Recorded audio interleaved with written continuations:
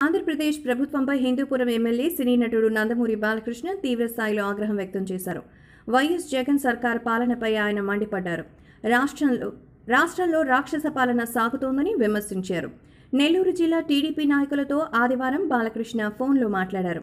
ఈ సందర్భంగా ఫోన్ ద్వారానే ఆయన పంచాయతీ ఎన్నికలపై నాయకులు కార్యకర్తలతో చర్చించారు. కావలి మండలం రుద్రకోటలో టీడీపీ నేత కోటంరెడ్డి శ్రీనివాసరెడ్డి ఫోన్తో టీడీపీ కార్యకర్తలు అభిమానులతో మాట్లాడారు. రాష్ట్రంలో కొనసాగుతున్న పాలన ఉత్తర భారతంలో కనిపించేదని వ్యాఖ్యానించారు. అభిమానులు టీడీపీ కార్యకర్తలతో తనది జన్మజన్మల అనుబంధమని ఈ సందర్భంగా బాలకృష్ణ అన్నారు. ఎవరికి ఇబ్బంది వచ్చినా ఊరుకోబోమని చెప్పారు. సినిమా షూటింగ్ పూర్తయిన తర్వాత రోడ్ల మీదకు వస్తానని కార్యకర్తలకు తెలిపారు. ప్రజలందరినీ కలవనున్నట్టు వెల్లడించారు. ఇటీవల హిందూపురంలో పర్యటించిన బాలకృష్ణ ఇదే రకమైన వ్యాఖ్యలు చేశారు. అధికార పార్టీ వైసీపీకి స్ట్రాంగ్ వార్నింగ్ ఇచ్చారు. హిందూపురం పర్యటనలతో తనని వైసీపీ కార్యకర్తలు అడ్డుకోవడంపై సీరియస్ అయిన బాలయ్య నేను ఒక సైగ చేస్తే ఏమయ్యేదో అంటూ సీరియస్ అయ్యారు.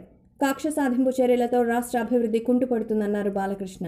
తండ్రి మండలిని పునరుద్ధరిస్తే కుమారుడు రద్దు చేస్తున్నారంటూ జగన్పై సెటైర్లేశారు బాలయ్య. ప్రస్తుతం బోయపాటి శ్రీను దర్శకత్వంలో తెరకెక్కుతున్న చిత్రంలో బాలయ్య నటిస్తున్నారు. ఇప్పటికే ఈ చిత్రం షూటింగ్ సగానికి పైగా పూర్తయింది. మే ఇరవై ఎనిమిదిన సినిమా రిలీజ్ చేయబోతున్నట్టు యూనిట్ ప్రకటించింది. ఆ రోజు ఎన్టీఆర్ జయంతి కావడంతో అదే రోజు సినిమాని విడుదల చేయాలని డిసైడ్ అయ్యారు. ఇక మరోవైపు సినిమా షూటింగ్ గ్యాప్లో బసగోదారకం ఇండో అమెరికన్ క్యాన్సర్ ఆసుపత్రికి సంబంధించిన కార్యక్రమాల్లో కూడా పాల్గొంటున్నారు.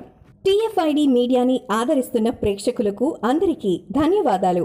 మీకోసం మిమ్మల్ని మరింత ఎంటర్టైన్ చేయడానికి ఈ ఛానల్లో ఫోక్ సాంగ్స్ అందిస్తున్నాము. అవి చూసి ఆనందిస్తారని కోరుకుంటున్నాం. ఫోక్ సాంగ్స్ లింక్స్ కోసం డిస్క్రిప్షన్లో చూడండి.